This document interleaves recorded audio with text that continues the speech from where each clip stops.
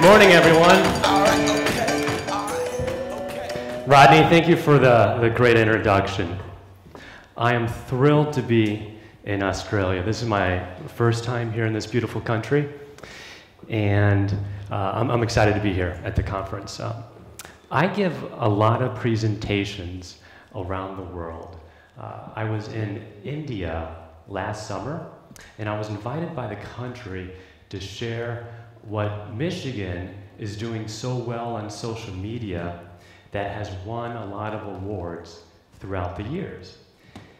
And when I tell people I'm from Michigan, I like to show them a map of where Michigan is. Michigan is easy to identify from outer space. It, uh, it's surrounded by four of the five Great Lakes, and that gives Michigan one of its nice natural assets. A lot of people like to kayak and swim and boat, and you're never six miles away from one of the lakes, either a Great Lake or, or a small inland lake. It looks kind of like a mitten, is, is how we affectionately refer to Michigan, kind of like a mitten from outer space. So when I tell people I'm from Michigan, I usually get one of two different reactions. The first reaction is an apology people say, um, you know, I'm, I'm sorry, I, I uh, think of Detroit. People read the headlines, they see that Detroit is bankrupt. And that's typically one of the first reactions I get is an apology. Oh, I'm sorry.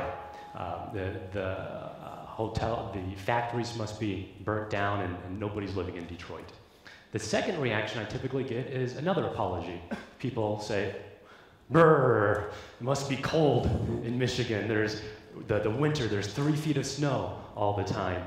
And uh, I'm going to play this little video here because this is typically what I think people's reaction of Michigan is, is like this news reporter in Traverse City. So we'll go ahead and play this clip.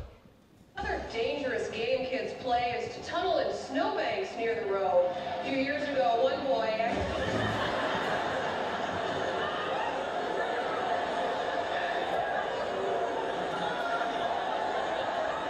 And that, that really happened in, in Michigan in the winter. So, our challenge, right, our challenge for uh, the state of Michigan is to shift perceptions away from Detroit not being a great place or the winter being uh, horrible, right?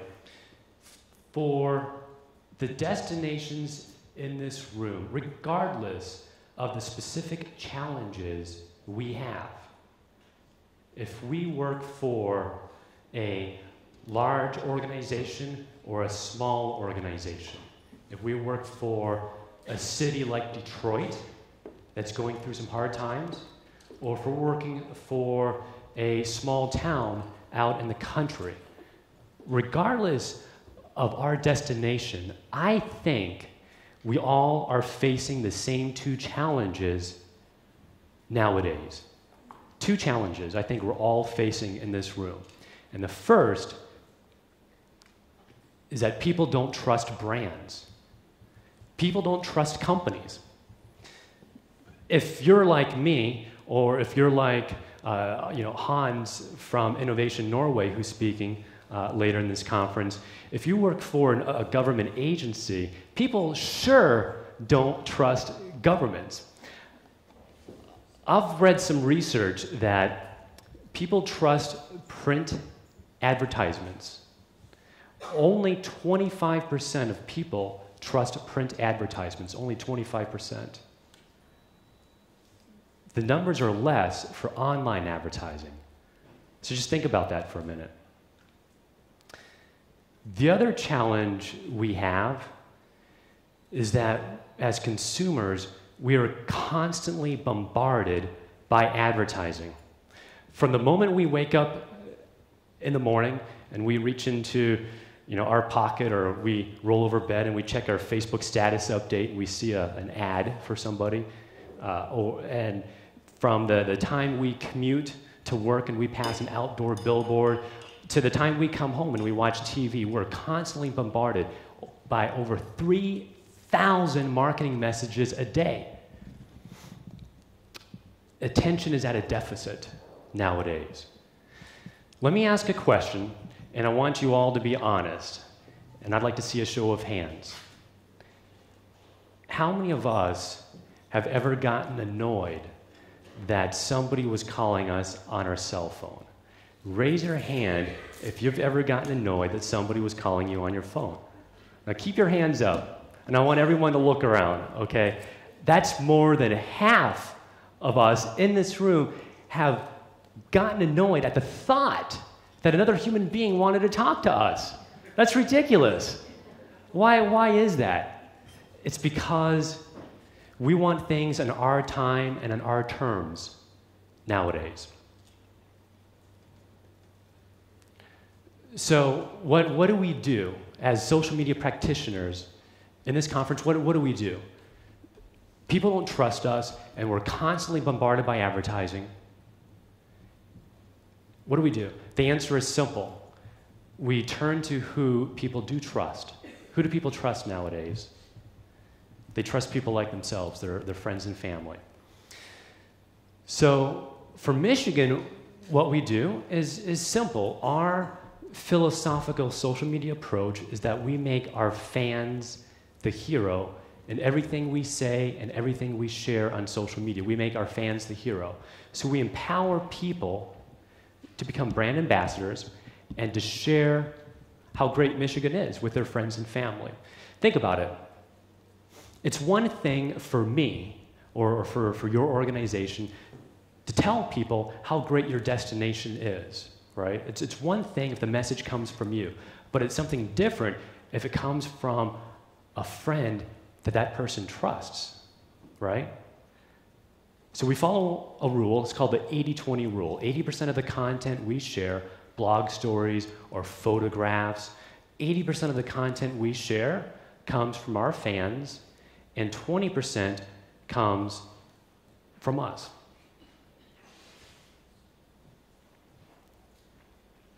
So, how do we go about asking people to share their stories with us?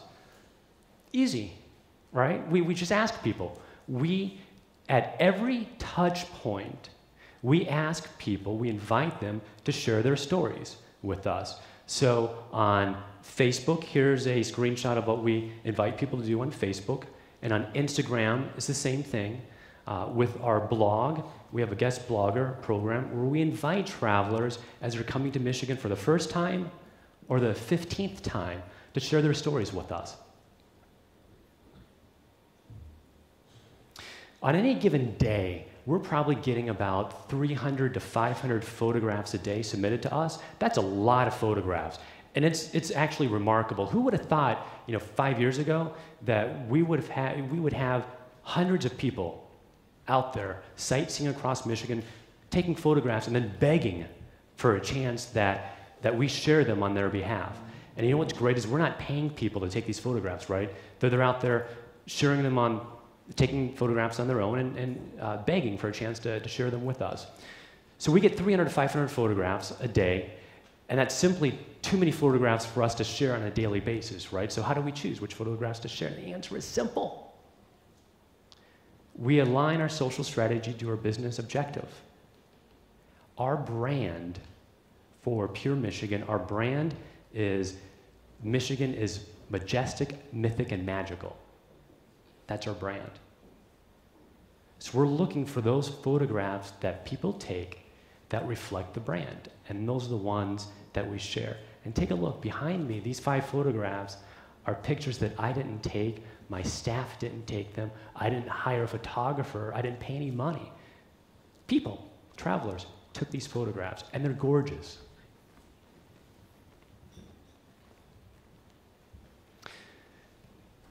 So, for the next 20 minutes, what I'd like to do is share some stories, some lessons that we've learned along the way that can be applied to your business. If you're working for a destination or maybe an advertising agency, if you work for a large organization uh, with maybe three social media practitioners, I wish I. I, I, wish we had three social media practitioners in my organization. Or maybe you work for just an organization that's small with just one. Maybe you're, you're kind of the jack of all trades. So, here, I just want to share a few different stories with you guys. So, Michigan is the most popular travel brand in the world on Instagram in terms of photographs being uploaded to the platform with the hashtag Pure Michigan. Australia ranks number one for most followers, and that's a remarkable feat. And we'll get to what it means to have a lot of followers in my next story. So, what we learned about Instagram surprised us. We routinely, on a daily basis, share photographs that fans have taken and hashtagged Pure Michigan. And we invite people to use Pure Michigan at every platform, uh, everywhere. And we have the Pure Michigan name, which is our name, is consistent across every single platform. And that's key. Make it easy for people to find you and make it easy for people to share content with you every chance that you get. So, what we found about Instagram surprised us. One, this is not too surprising, but one, people flock to photographs that are beautiful sunsets, lighthouses, that type of stuff. That's the Pure Michigan brand. People flock to those types of photographs. We get a lot of likes and a lot of comments. But here's what surprised us the most was that it's not just the type of photograph, it's who takes the photograph that's equally important. Okay? So early on, we launched an Instagram influencer contest, a, a, program. This was early on. At the time, we had about 10,000 followers. 10,000. It was a lot, but it's still a little, okay? We identified somebody that lived in Michigan. Uh, his name was Tony Detroit. He had 300,000 followers, a lot more than what we did. And he loved Michigan. And the best thing is, he took amazing photographs absolutely stunning photographs. He was an early, he got 300,000 followers because he was an early adopter of the platform. He was one of the first thousand people on Instagram. I kid you not. He met his future wife on Instagram. That's how much of an influencer he was. So, so we felt this guy, okay? And the challenge for us was how do we get his attention? Right? We're small. We only have 10,000 followers and he's got 300,000. How do we get his attention.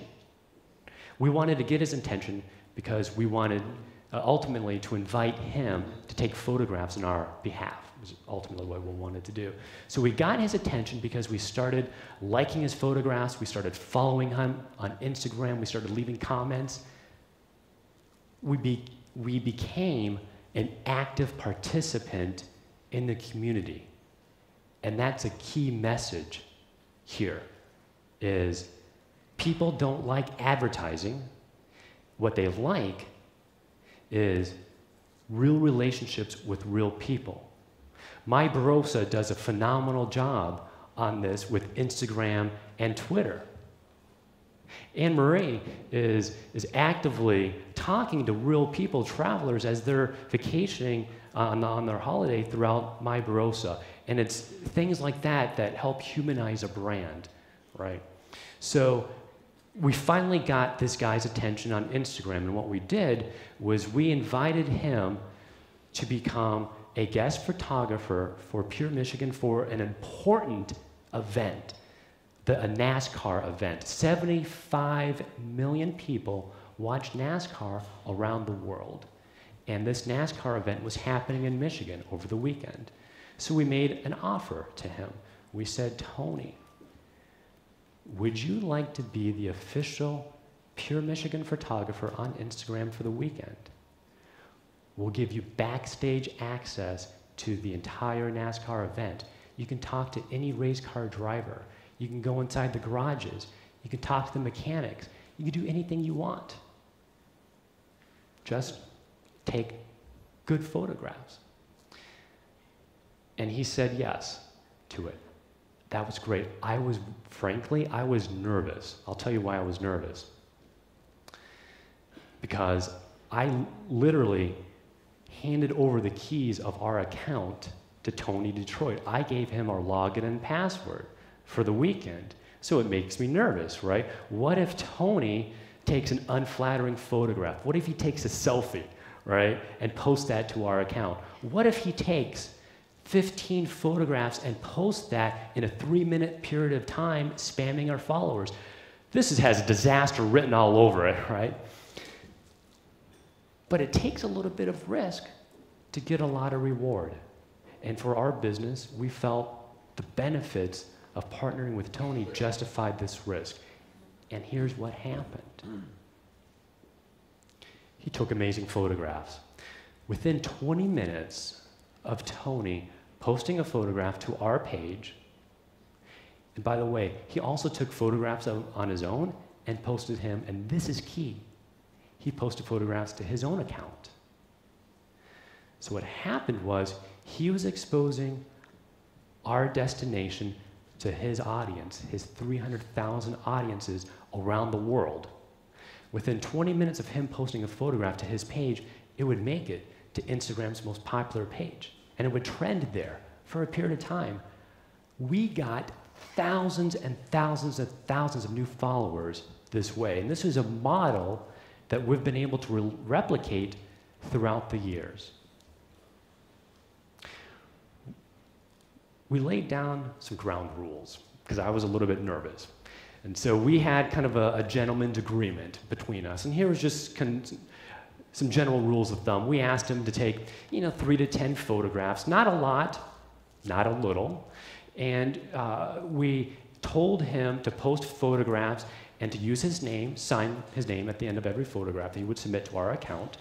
And uh, it, was, it was simple. We didn't want him to take uh, unsavory photographs, and we didn't want him to talk to our community as a Pure Michigan brand. It was simple. so the takeaway for this is, is to identify who your influencers are and create opportunities for them to share their stories with their friends and family on your behalf a message is more trusted when it comes from somebody you know than some big brand or some advertiser or some government agency, right? I don't know. I don't know what part of the body this is. I'm not even going to guess, but uh, I like it because uh, this the person tattooed themselves with uh, with our brand. I don't know any other brand where people actually tattoo themselves. Maybe Harley Davidson. So we're proud of this. Michigan ranks number one or number two on more social networks than any other state in America in terms of having the most number of followers. And that's something we're very proud of. I, I far too frequently get too much credit for that. Uh, I'm fortunate that I work with a great team, and we have a good industry, you know, travel industry, good partners that we work with. And we have a small team. It's, it's, it's me and uh, two other people that have social media and their titles. We're not necessarily a large organization. But we don't measure the success of our social media efforts by this, by how many followers we have. We don't.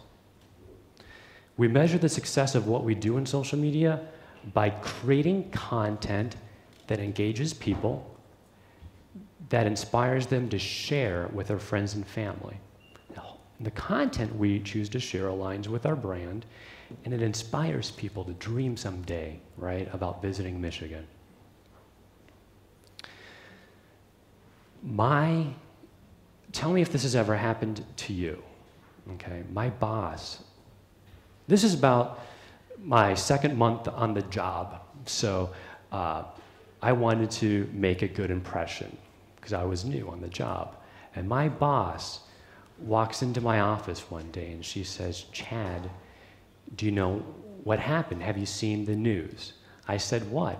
And she says, New York now has more fans than Michigan, is what she says to me. I was devastated because for years, Michigan was number one on, on Facebook, right, for, for years. And now New York surpassed us. And I was completely devastated. After picking my ego up off the floor, I went back to my computer, went to Facebook, and plugged it in. And here's what I saw. This is publicly accessible Facebook data insights. Anyone can go and, and see this data, right? What I found, uh, a few things. One, yes, indeed, New York had more followers. But more importantly, here's the other thing I saw was the average demographic, the average fan of New York was a teenager between the ages of 13 and 17 years of age. they don't even have driver's license in America. They can't even drive a car in America. So if New York's business objective is to get travelers, high school teenagers that don't even have a driver's license to hitchhike somehow and use their allowance money to travel to New York, then they're reaching the right audience. But if they're trying to, if they're trying to get people that have disposable income adults to travel to New York, they're completely missing the mark. Okay? The second thing that I noticed was that the engagement rate for New York was less than 1%. And that's calculated by taking a look at the people that are talking about the page divided by the total number of fans. The engagement rate was so low. Let's take a look at another state, okay? Just for comparison purposes only, let's take a look at another state. It'd be too easy if I showed you Michigan, because I, I know we're doing a good job. Let's take a look at another state. How about Florida? So I went to Florida's Facebook page, and here's what I saw for Florida. Florida had fewer fans, but they were more engaged. And the average age, the average demographic of Florida's Facebook page was between the ages of 35 and 54. So these are adults. They can drive, they can get to Florida, and best of all, they live in another state. Okay, so the takeaway here is don't focus on trying to get more fans and more followers. It's a good first goal to begin with, but that's just a vanity number. It's meaningless if you're not reaching the right audience. It's quality, not quantity, that matters. Think about Facebook for a moment, right? One of the world's most popular platforms, over a billion people around the world use Facebook. Think about it. What are the three actions on Facebook that you can take? You can like, share, and comment. And, and uh, in, more or less in, in kind of that order of importance. Like, the action of liking something is the least amount of commitment that you can expect from somebody. It's like a digital high five. Like, ah, I like this comment, high five. Pretty simple. A comment, think about that for a moment. A comment takes a little bit more thought. Somebody actually has to type out a sentence. A share that's where the magic happens. Because a share means that somebody was so moved, so inspired, or so touched emotionally, they thought it was funny, they thought it was humorous, or just a great looking photograph, that they shared it with their friends and family. So focus on not getting more fans and more followers necessarily, but focus on creating engaging content that inspires people to share.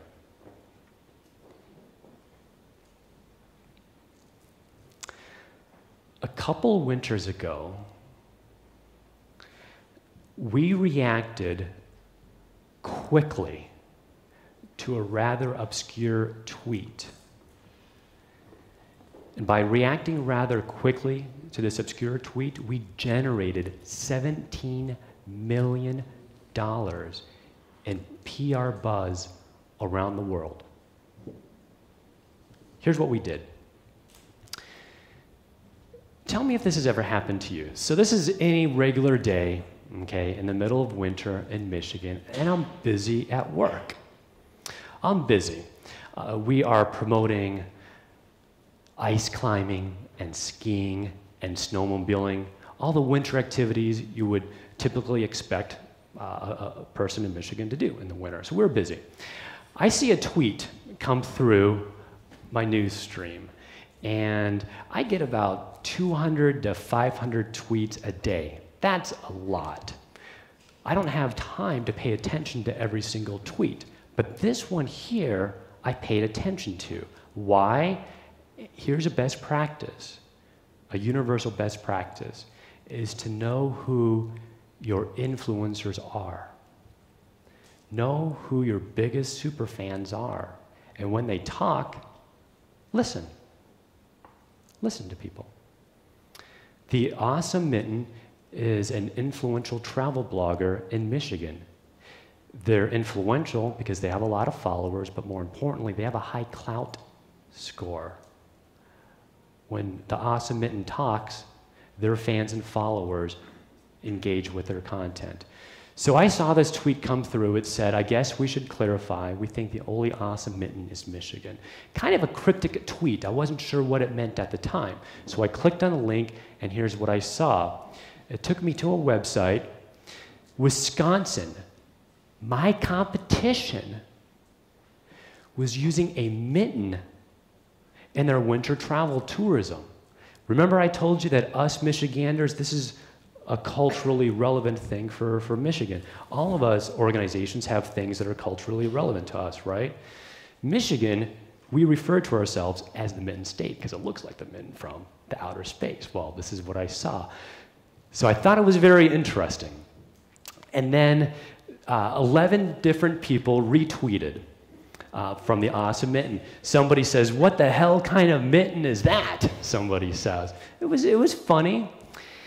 And then that day, towards the end of the evening, a small newspaper, one small newspaper, published a story that said Wisconsin's use of a mitten to promote winter tourism is a real stretch. Okay, so that's, that's what happened. Okay, so that's what happened. So the question is so what do we do, if anything? And if we do something, why do we do it? Right? What, what do we do? Uh, let's just take a look here. So we had one tweet, okay, 11 retweets, and a small newspaper story. Was it. The sensible answer is you know, we don't do anything. There's no story here. What is there to do? There's nothing to do. I am busy. My organization is busy promoting uh, snowmobiling and skiing and winter sports. If we did anything, this would be a distraction. Frankly, it would be off brand, it would be off message right? Has nothing to do with our business. That's the sensible answer. But we decided to do something, and we decided to do something bold in a big way. We reacted quickly. We took a risk. We took a risk. And here's what we did we launched a website called whoistherealmittenstate.com. And I kid you not, we have never launched a website quicker than we launched this website. We built it in four hours.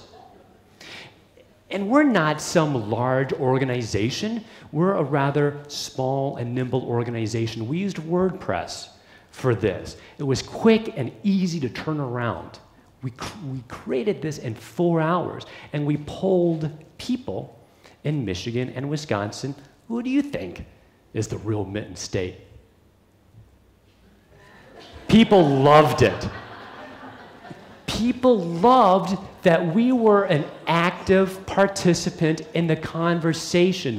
People loved that a brand became part of the conversation. And we got an outpouring of user generated content like this. If the hand don't fit, you must acquit. And we got more content like this. People were having fun with this. Finally, by the close of business, the same day that we launched the website, by the close of business, we got statewide news coverage. And then Wisconsin had a little bit of fun. At the time, just to give you some historical context, at the time, the National Football League, the, the, the, football team for Wisconsin was undefeated. They won every single game. Michigan, our football team, we lost every single game. So Wisconsin posted this on Facebook. The colors are from their football team. They rubbed their mitten, their hands, in our face that they were undefeated. While all this was happening, we were having conversations with Wisconsin to make sure that we were having friendly debate, not menacing debate, right? What we did as a response of Wisconsin posting that Facebook message was we fired back to them. We took out some Google AdWords. This is only a couple hundred dollars, not a lot of money. We're not a big organization with, with unlimited budget like most of us here. We all have limited time, bandwidth, and resources. $200. If you were anywhere in the state of Michigan or Wisconsin, or even in the US, and you went to Google and you typed in Michigan, Wisconsin, mitten debate, the Great Mitten War, or anything like that, you went to our website. You went to our website. Finally, it got picked up in national news. And I think the funniest story ever of the 300 stories around the world that were published was written by Gawker that says the dumbest war ever erupts online, states fighting over which one looks most like a mitten. There becomes a point in time when the chatter starts to die down with these types of things, the, the real time content marketing chatter starts to die down. And uh, it was about a week later, chatter started to die down. So, end of story. Great, right? We had a little bit of fun along the way, and we drew attention to Michigan during a time of the year when tourism is not too popular during the winter. So, what do we do? Story starts to wind down, the sensible answer is you just move on. You get back to doing what I was doing last week, which is promoting snowmobiling and, and snowshoeing. Well, that's the sensible answer, but we decided to take a risk and to do something big. So we did one more thing. And here's what we did we got a lot of stories because we did this second thing. We created a charity drive, a mitten charity drive, and we asked people in Michigan and Wisconsin to donate mittens to their uh, local charity. That drove a lot more conversations uh, as well. People loved this type of PR move. And then finally, it broke international news. One rather obscure tweet, we get 500 tweets a day. One tweet, we reacted quickly by launching this website and becoming part of the conversation, joining the conversation, that generated $17 million in PR buzz around the world. So the takeaway here is to use real-time content marketing, right, to be relevant, to, to resonate with audiences.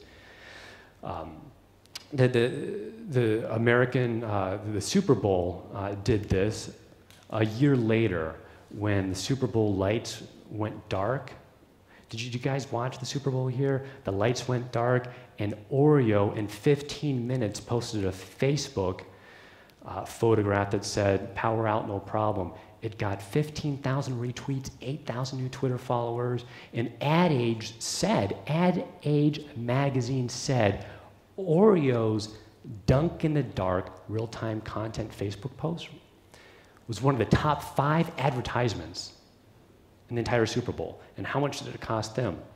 Nothing to do this, other than being smart and being quick. So, uh, three, three takeaways. The first takeaway is identify who your influencers are, create programs where they can share your content. Second takeaway it's quality, not quantity of followers. Don't focus on chasing more people focus on creating the type of engaging content that inspires people to want to share and eventually visit. And then, third, remember social media is about being social. Have real conversations with real people. it's a good tip to plan out a content calendar 30 days in advance. It's an approach we follow. We create a calendar 30 days in advance of what we're going to say, where we're going to say it, and how, which social network. It's a content calendar. It's work, but it saves a ton of time. But don't set it in stone. You have to have the you have to be present when people are talking so that you can be part of the conversation.